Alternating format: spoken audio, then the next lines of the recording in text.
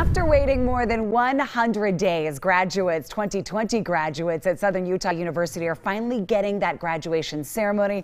And our own Allie Monson is in Cedar City with details on that big event that is taking place tomorrow. Hi, Allie. Hi, Nish. You know, everyone deserves their big moment, right?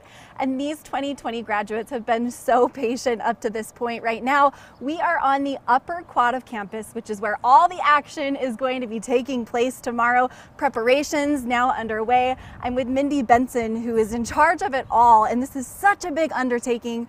What has it taken, Mindy, to get everybody to this point? It is a massive undertaking and it's taken months of preparation by a team that is so large, it includes all of campus, really coming together to make this happen. How did you make the decision to say, yes, oh, let's do this? It has been a tough decision and we're still, should it be yes? We are going forward. Our students have shown us that they want this and it, it was them we went to in March and said, do you want a virtual commencement or do you want a postponed commencement? And they all very loudly said, we want it live. We want to be able to walk through that bell tower and we want to celebrate with our friends and family. It's such a big moment. Everyone dreams of that It's moment. a culmination they've worked so hard for yes. and they need the iconic shots and the experience. And I so. love that y'all listened to them. You said, okay, well then that's what we're going to do. Um, obviously it's going to be a little bit different than a normal graduation ceremony. What should we expect to be seeing happening? We are following all state protocols and guidelines. So everyone will be in, in masks. The graduates will surprise them tomorrow with red SUU masks to match that. their black robes. It will be fun to have that. All guests and graduates are required to wear masks. There will be social distancing. We're having it outside for the first time since the late 80s.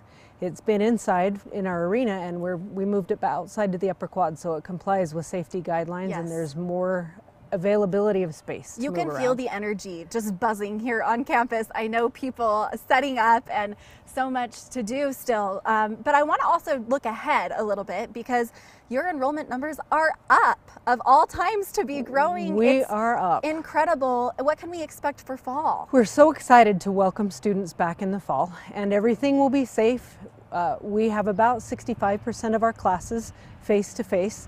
So students have the option of being here face to face. They also have the option of going online if they don't if they feel like they've been exposed or they feel not safe that day or are feeling sick we are asking students to stay home. Every class will be broadcast live with a camera in the classroom so they will be able to see and be part of the class still but watch it from home.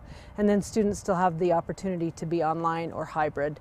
So they have the choice, faculty has the choice, and we want to be face to face as much as we can and provide that experience for I students. I love that you're giving students so many options. Lots of options, from. and they'll all have T-bird masks. It yes. will just be a fun, different, but all of this has been different. Yes. So, so Mindy, we have just a few moments left, and I want to just mention a huge draw for fall as well is this three-year bachelor's degree program. Absolutely. This is the first time, right? It is. It launched in the spring. This is the first time that it will be the full class.